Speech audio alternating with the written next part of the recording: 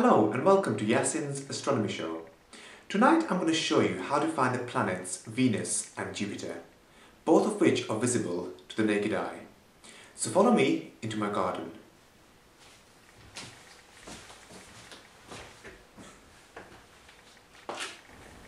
You can see the moon, the crescent moon in the night sky, looking very bright there. So if I zoom out now, slowly,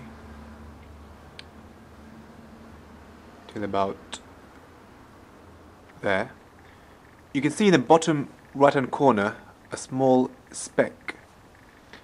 Now I'm going to focus the camera on this speck. So that bright object there, which looks like a star, is actually Venus. And if I just zoom in on there, just to make it slightly larger, there, you can see it's very bright and very large, um, but it's too close to be a star. So that is Venus. Now if I zoom out, so there's the moon in the top left hand corner, there's Venus. Now at the bottom you can see another faint object which is the planet Jupiter which is also visible. Uh, let me focus in on Jupiter.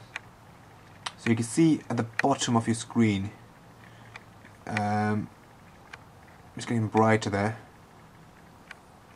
Let me just turn the camera around. Yeah, that is the planet Jupiter. It appears very small on the screen, but that's because it's almost 400 million miles away from Earth. Okay, so to conclude, you've got the Moon, Venus, and Jupiter all visible in the night sky